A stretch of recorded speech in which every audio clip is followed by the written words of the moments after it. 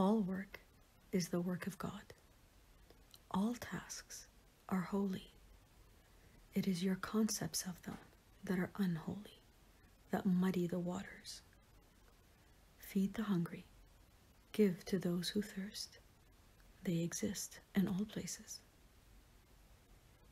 When you create, you infuse your creations with your energy, with your thoughts, feelings, emotions, judgments, fears.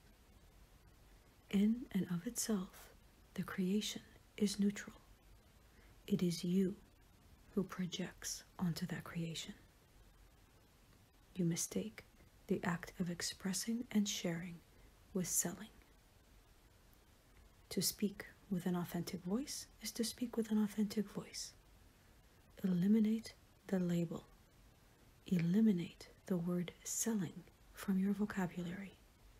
It clouds your energy and makes the final creation a mixed affair. Approach the task as if it were an extension of you, an opportunity to express your love into that task. What matters is not the product you are creating, but the energy that is filling it, that you are pouring out into the universe. Pour all your light into the task and let it go. No expectations.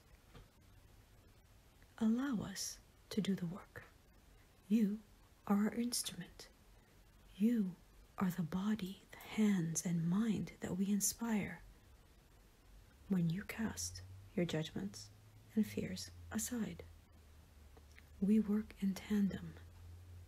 A servant of the light is only as effective as their ability to release, to love and release, to pour love energy forth continually, even into what appear to you disagreeable works.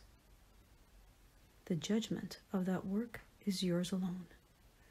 We do not judge it, love does not judge it.